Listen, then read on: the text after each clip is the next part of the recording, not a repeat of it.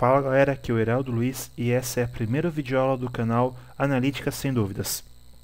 Eu vou começar aqui com umas videoaulas sobre conceitos básicos de Química que vão ser muito importantes no futuro para as aulas de Química Analítica em si.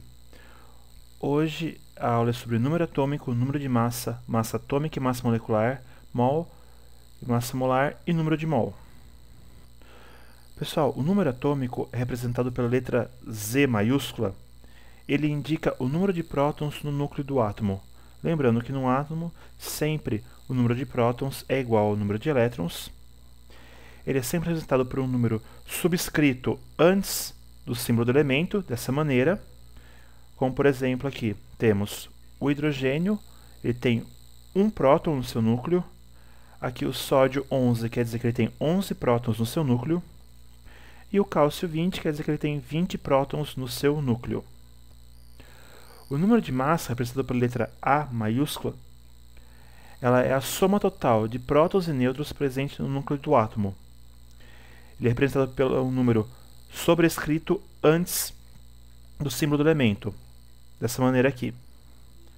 Então, por exemplo, aqui, gente, temos o hidrogênio com um próton e massa 1, quer dizer que ele tem zero nêutrons.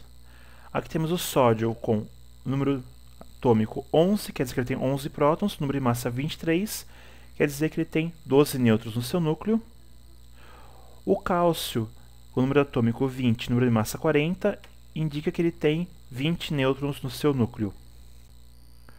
Com isso, gente, temos que relembrar um pouco o conceito de isótopos. Isótopos são elementos com o mesmo número de prótons no seu núcleo. Por exemplo, aqui temos o hidrogênio com número de massa 1, número de prótons 1, com número de massa 2 e número de próton 1, pode ser chamado de hidrogênio com número de massa 2 ou deutério. Um hidrogênio com número de massa 3 e número atômico 1, que é o trítio.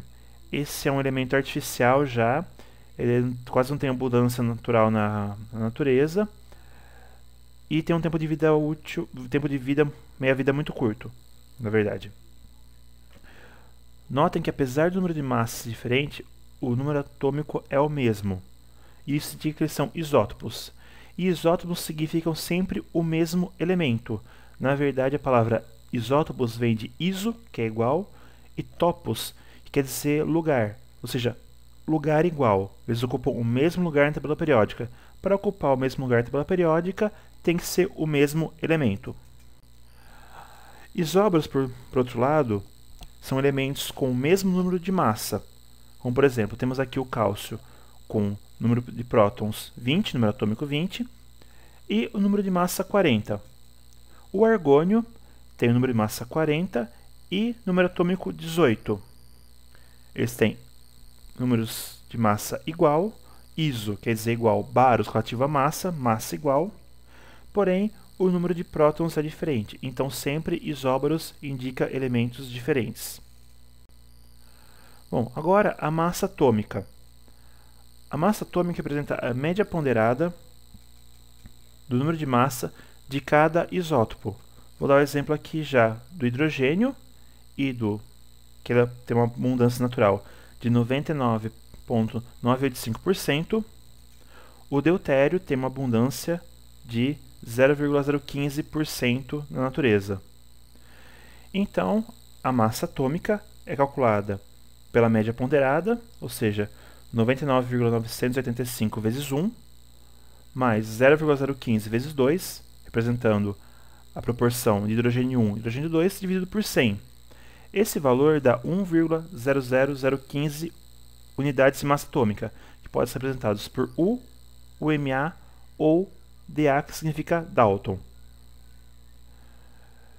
Esse valor, na verdade, ele é 1,00794 mais ou menos 0,00001 unidades de massa atômica. Porque a conta é um pouquinho diferente do valor real. Porque tanto esse valor 1 quanto esse valor 2, eles não são valores inteiros. Existem alguns defeitos quânticos que o pessoal chama que alteram um pouco esse valor de massa. Ele pode ser um número quebrado.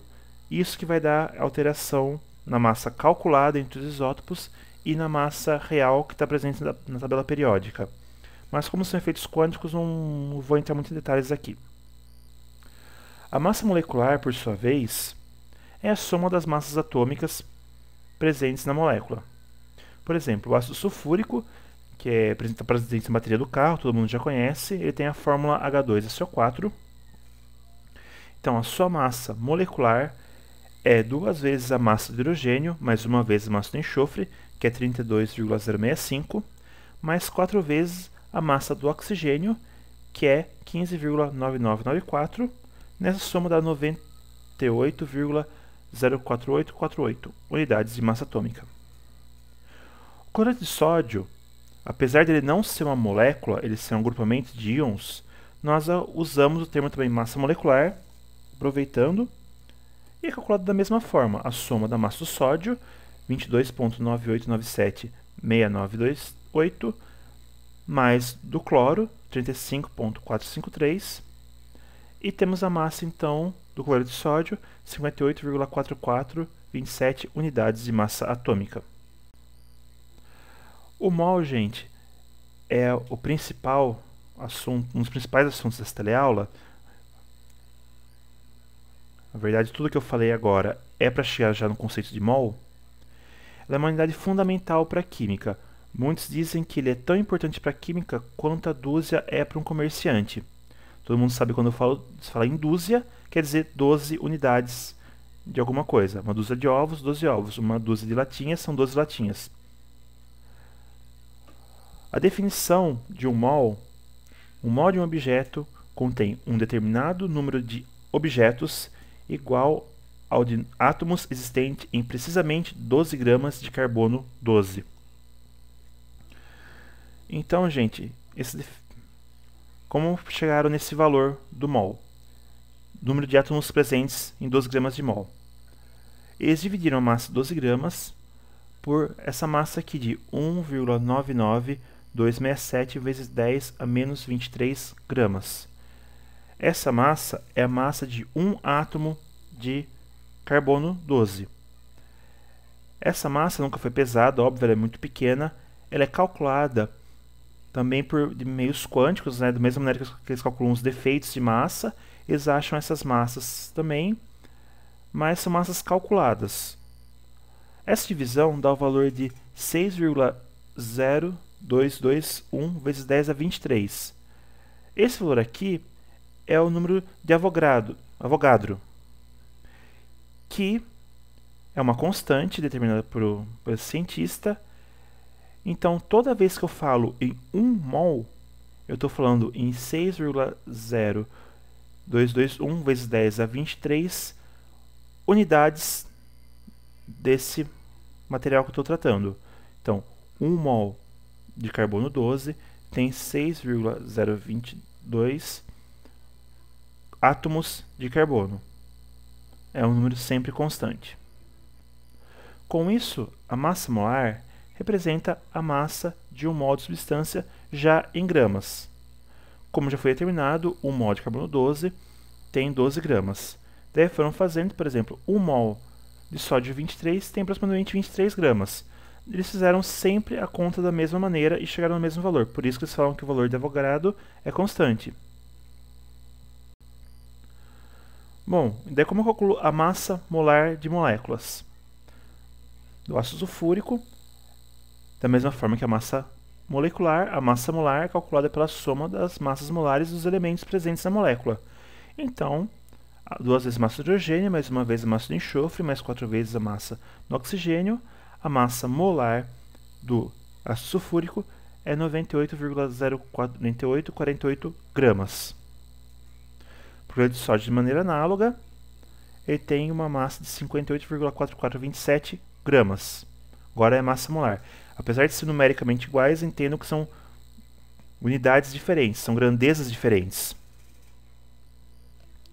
E o número de mol, finalizando, que é o mais importante de todos, representado pela letra N minúscula, ele é sempre a razão da máxima substância pela sua massa molecular.